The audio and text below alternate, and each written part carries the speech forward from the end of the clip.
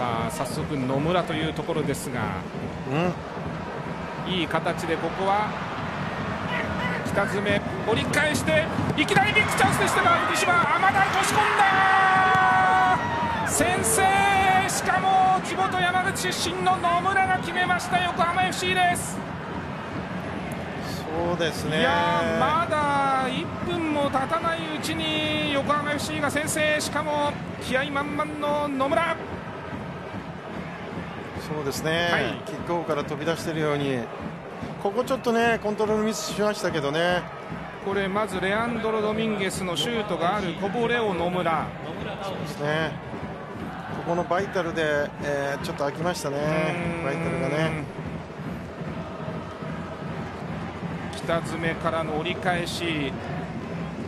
レアンドロそして野村。